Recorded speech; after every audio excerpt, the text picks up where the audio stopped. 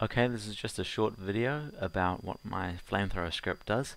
Details and links are in the description below. Um, clicking the hand which the flamethrower in, is in will activate the flamethrower and clicking again will deactivate it.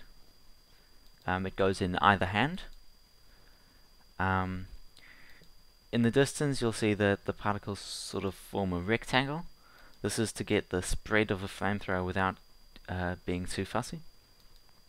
If I swap hands while the flamethrower is on, it'll the it'll keep on going, but the particles will start going from the hand the flamethrower is in.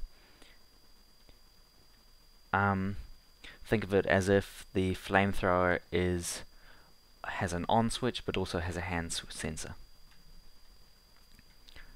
Um, as you can see, mobs get set on fire by the particles.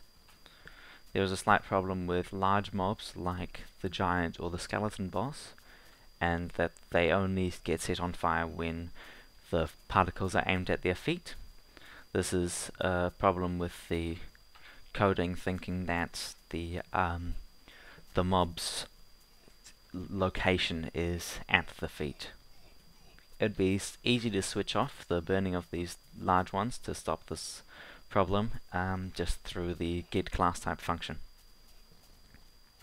And that's pretty much it.